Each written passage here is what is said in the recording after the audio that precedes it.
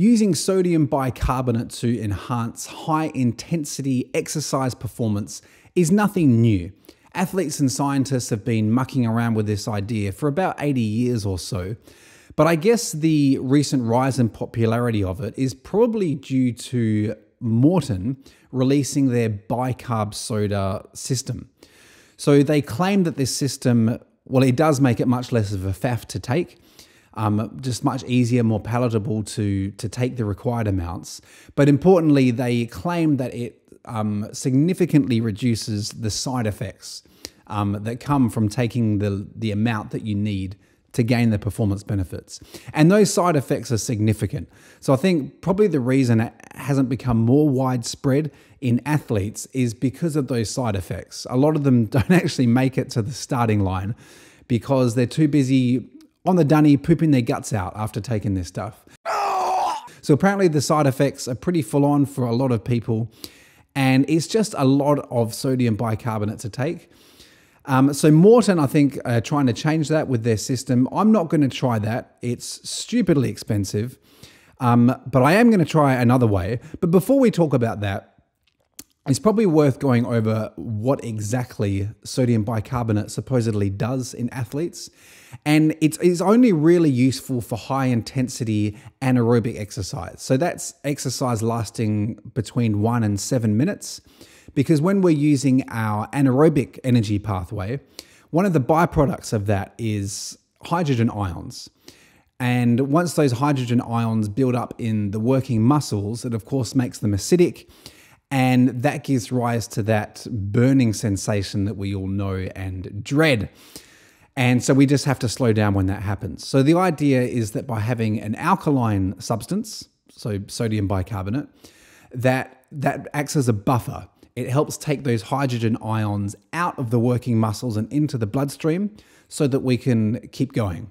The research out there is pretty conclusive from what I gather. This stuff works and is pretty significant performance, performance gains in time trials. So real world time trials, I think it's it's pretty much confirmed that yes, this stuff works in those high intensity anaerobic exercise sessions.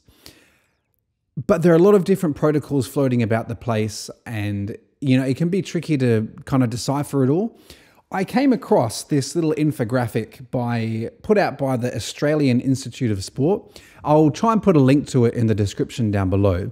But it's really good. It's just a little two-pager and it's a really nice, neat, easy to follow summary of best practice. So they've come up with a protocol that they recommend for their athletes. So I'm going to try it out tomorrow. I've got a 3-minute time trial and a 12-minute time trial planned for the same session.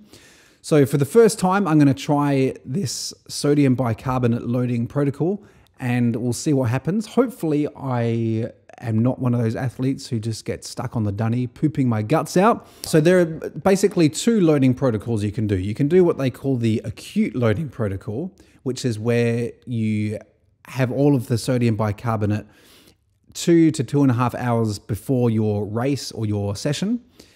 And there's also a chronic loading protocol, which is where you you kind of do a loading protocol for five days before the event. So I'm going to go with the acute loading protocol. They say this is the most effective one, and it, it seems like less of a faff doing it on one day rather than five. So they say that the recommended amount is between two and 400 milligrams of sodium bicarbonate per kilo of body mass. So I'm going to go for 300 milligrams per kilo. Um, just thought I'd try it out in the middle and see where we go.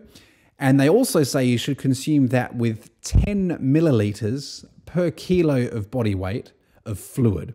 So they say that's really important to help prevent some of these side effects like diarrhea and all the other stuff. Plus, you need to consume quite a lot of carbs with it at a rate of one and a half grams of carbs per kilo of body weight. So for me, my protocol is going to be, let's just get this up. Um, so yeah, tomorrow morning, I'm going to start loading two and a half hours before my session. And it's going to work out to 23 grams of sodium bicarbonate, So to get that, I am going to use tablets. So in I don't know if they're if this is like a, a generic brand or whatever, but in Australia where I live, is this stuff called Sodibic? Sodibic.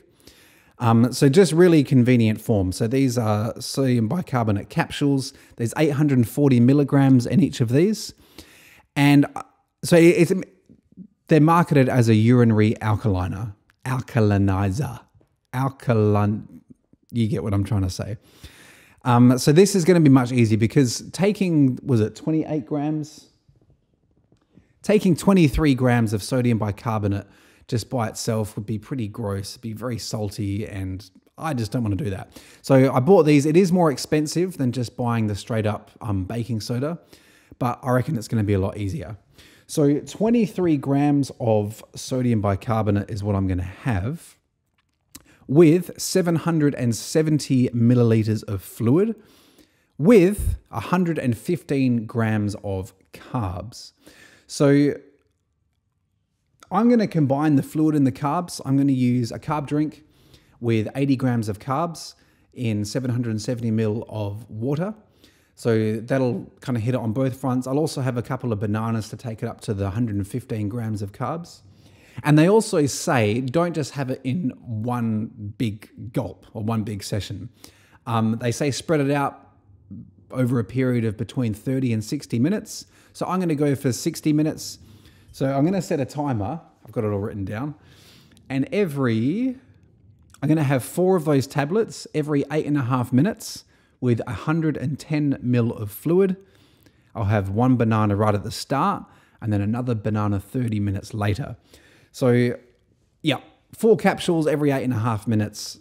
So, over an hour, I'll consume the whole acute loading protocol dosage and we'll just see what happens. Now, with this, it's going to be really hard to say how much of a difference it makes. Running an experiment like this on yourself is kind of impossible to get objective data.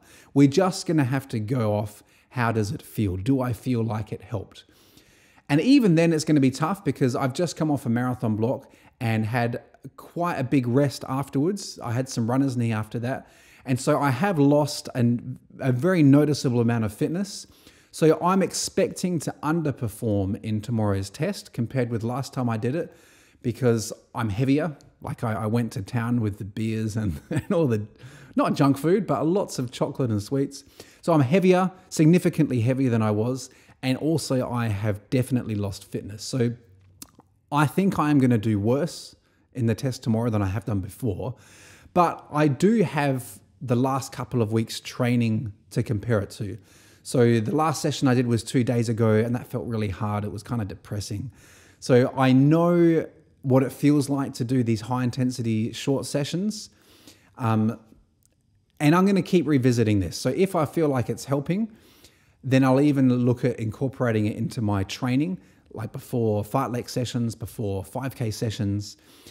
But I'm going to start off with these um, time trials that I do every four weeks. So every four weeks, I do a three minute time trial and a 12 minute time trial. So I'm going to track my progress during that, see how it feels. Hopefully, I don't get any upset stomach. And yeah, this will just be an ongoing experiment, and I'll revisit, I'll repost videos to see how it's going. If I feel like it really helps, then I'll try and come up with a way of incorporating into training. But I already get up at 4:30 a.m. to do my morning workouts, and if I'm having to load up with this stuff, you know, two two and a half hours beforehand, I just don't love the idea of regularly getting up at 3:30 a.m. every time I want to train. But we'll see what happens. So I will get everything ready.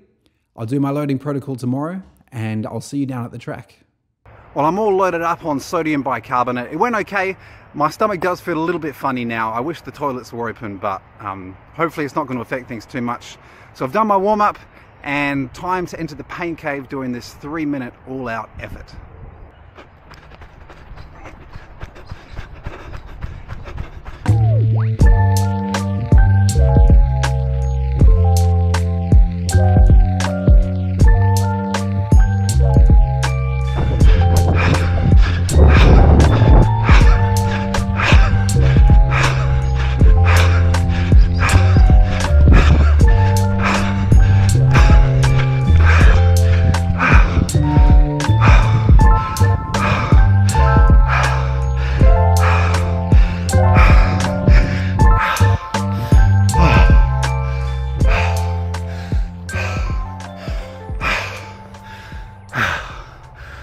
Was awful. Man, I've lost so much fitness since the marathon. Devastating. But I did it. I've got a baseline now. Did the sodium bicarb work? No idea.